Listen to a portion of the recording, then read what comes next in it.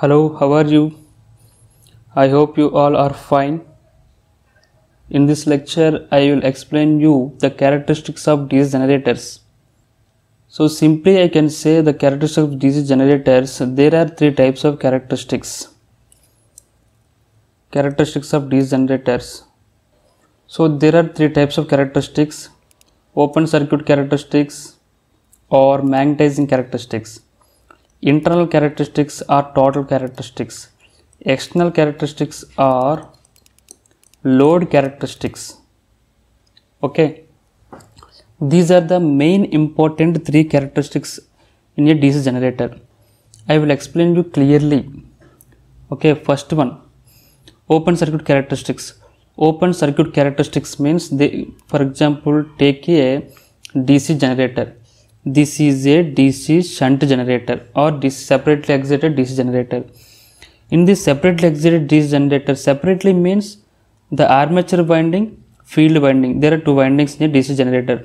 The field winding is excited by a separate supply. If the separate supply is connected to the field winding to excite this field winding, then it is called separately excited DC generator. So for this generator, how can we characterize the open circuit characteristic. So open circuit characteristics means the generator is connected with no load. So there is no load connected across the armature terminals. So the armature winding is connected with no load. There is no load across the armature winding. Open circuit. It means open circuits the armature conductors when the open circuit in the armature conductors, the behavior of the machine will be characterized here. What is x-axis and y-axis? E0 versus IF. E0 means no load EMF. So if there is no load here, then the EMF is called I0 and the current field current field current will be the x-axis. By changing the field current, we will see the effect of EMF when the under no load conditions. So see here at the time of no load conditions the x-axis will be IF and the y-axis output will be E0. By changing the field current we will see the effect of you know, EMF how it will be induced. So I will explain here there is an important point. So okay first of all coming to the concept there is no supply here for the field winding. If there is no supply, there is no current. If there is no current, IF is 0. When there is no current, the field winding does not ex excite. So without excitation, it will not produce the magnetic flux. So without magnetic flux, if we if you rotate the armature, if you if without magnetic flux, main field magnetic flux, if you rotate the armature conductors, there is no EMF will be induced across the conductors. So we have to cut the main field flux. We have to cut the magnetic flux with the rotating conductors.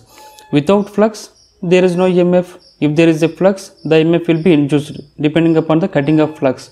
If we induce the ma maximum flux more flux then we have we will cut the maximum flux then emf will be induced. Emf formula is e directly proportional to d phi by dt there is a much change in flux then there will be EMF induced because of the this is because of the Faraday's law Faraday's law 1 so but if you observe here there is a zero current but EMF will be induced at point A. Okay? Please listen carefully. This EMF there is a small amount of EMF at the time of zero current.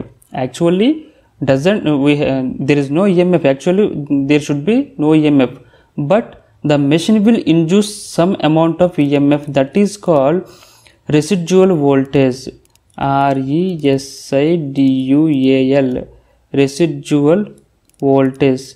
This voltage is called residual voltage.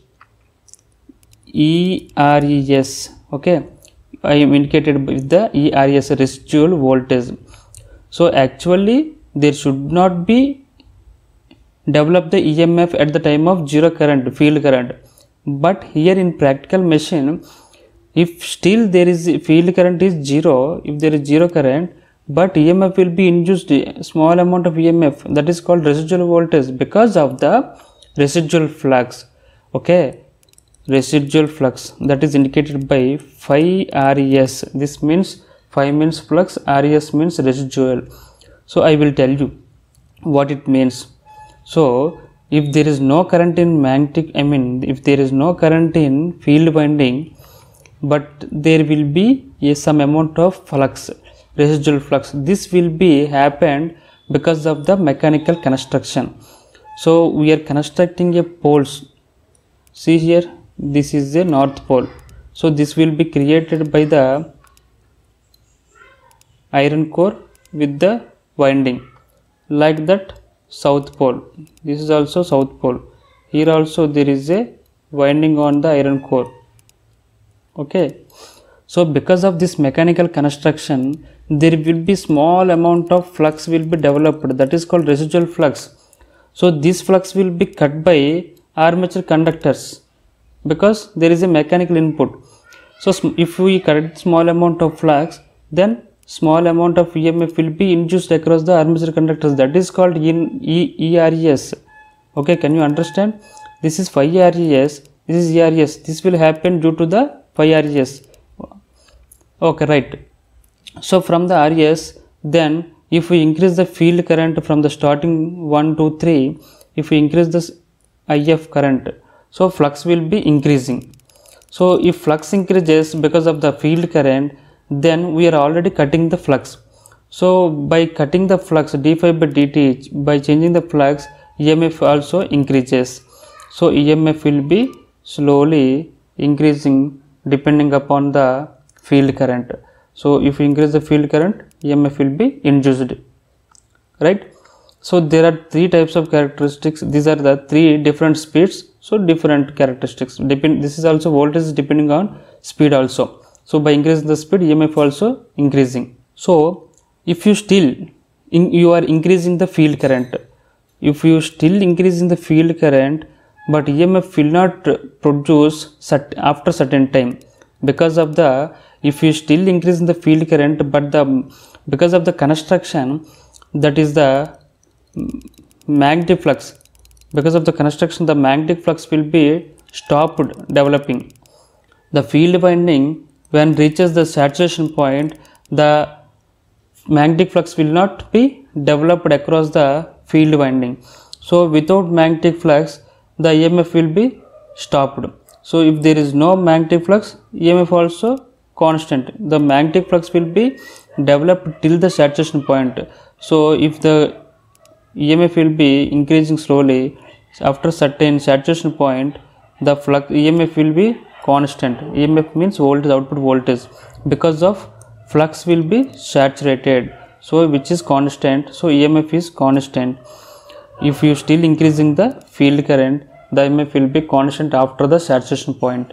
This is all about open circuit characteristics.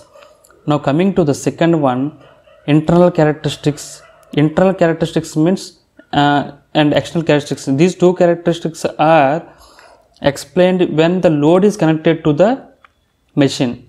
So if this generator is connected with no load then the open circuit characteristics will happen.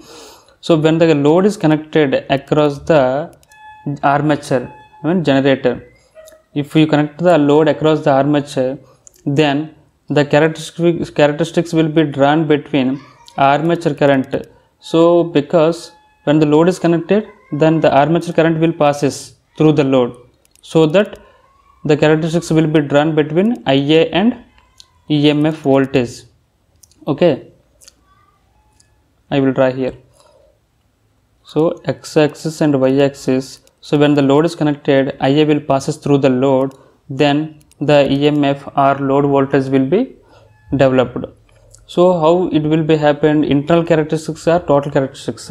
So after saturation point the characteristics will be like the constant okay? The emf will be constantly developed. But due to the armature reaction drop already in the previous class we discussed effect of armature reaction. If there is a effect with the armature reaction then the emf will be reduced. So already this will be learned in the previous class. So emf will be developed after saturation point like the constant. But due to the armature reaction effect this will be reduced. Okay? Then the characteristics will be slightly down with the help uh, with respect to no load characteristics. So now coming to the external characteristics. External means purely external voltage external current. I mean load voltage and load current. So external characteristics purely output characteristics. These are the load characteristics also. So across the Eh, this charac- these characteristics are drawn across the load only. So see here there there are some characteristics. So ab line. Ab line means no load characteristics.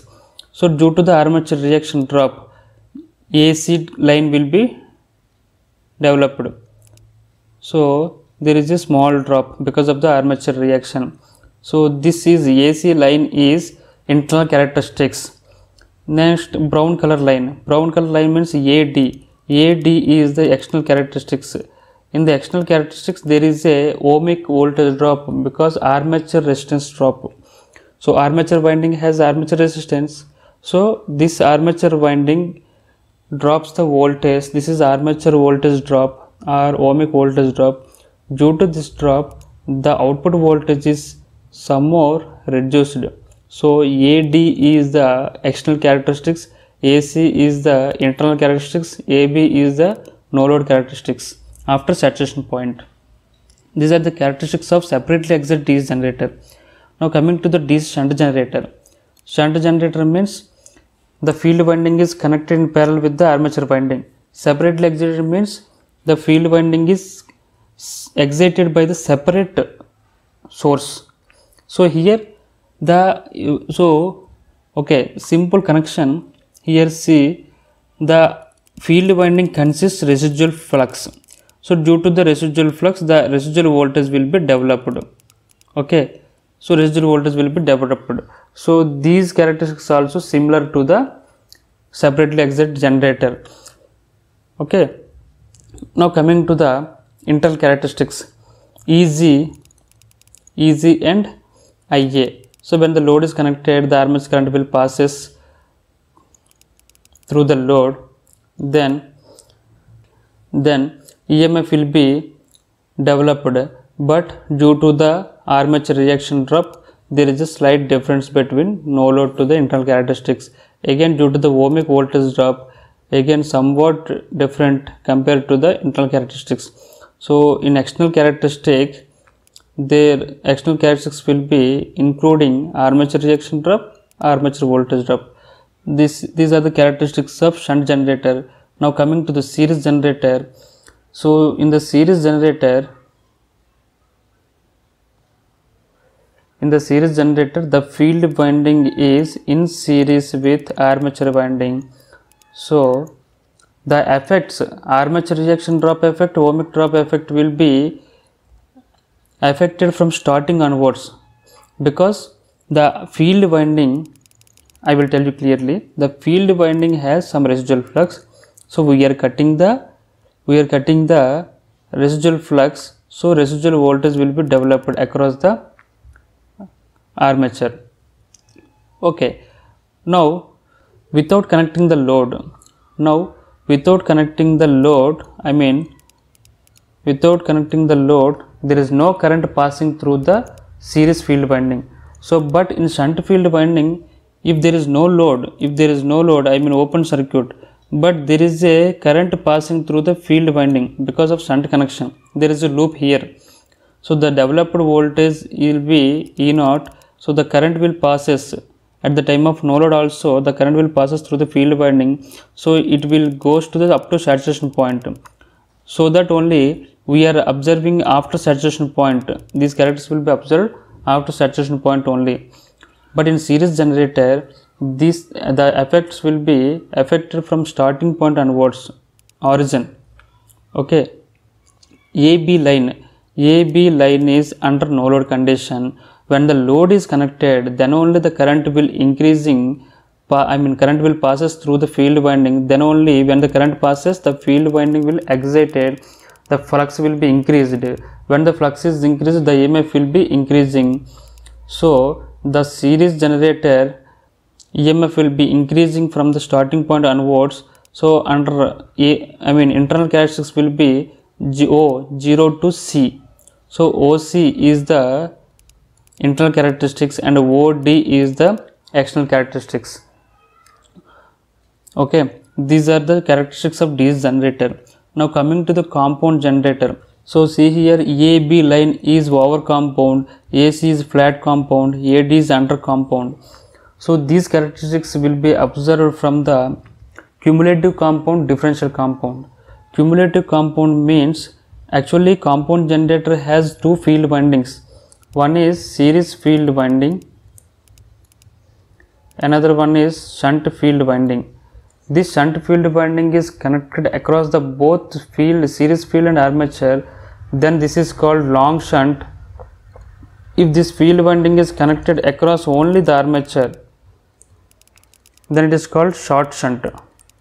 Are you understanding? So long shunt and short shunt. So these two generators has two field windings so but coming to the mechanical construction if there is a pole field pole then there are two windings series field winding shunt field winding. Okay these two field windings are connected in cumulative type. Cumulative. Cumulative means the flux directions. This flux direction is in clockwise direction and the second winding flux direction also in clockwise direction then the total flux direction will be clockwise. So in cumulative phi sc and is i mean series flux will be added with the shunt flux. So shunt field flux and series field flux will both are cumulating i mean adding. So total flux will be increased. Due to this total flux increasing the emf will be i mean voltage will be increased. That is a over compound over compound type if it is differential compound differential means differential means if the series flux is in clockwise shunt flux is in anti-clockwise but both the fluxes are in opposite direction. So both flux are in opposite direction means the total flux will be reduced. So phi t is equal to phi sh minus phi sc so by differentiating the two fluxes the total flux will be reduced so that at that time this will act as under compound generator. Okay? So if the both flux are limiting then flat compound generators will happen. So these are the characteristics of cumulative compound i mean compound generators because of the mechanical construction. Okay? I hope you can understand these uh, concepts characteristics concepts.